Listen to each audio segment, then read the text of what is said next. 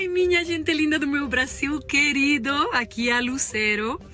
Eu estou com o cabelo úmido assim, sem maquiagem, mas eu quero falar que eu estou muito contente, muito empolgada, porque vamos ter a transmissão da novela A Dona mais uma vez aqui no SBT. Então, não percam. Se vocês não conhecem a história, vocês vão gostar muito. Se vocês já assistiram, assistam mais uma vez, porque vão curtir demais. 7 de dezembro, por SBT, não percam. Muitos, muitos beijos. Sempre.